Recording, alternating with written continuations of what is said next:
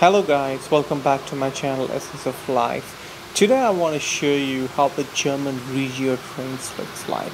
Regio trains are the ones which go from one state to the other state in, in Germany and as people call it, they call Regio trains. So enjoy watching the video and have a good time. Bye bye.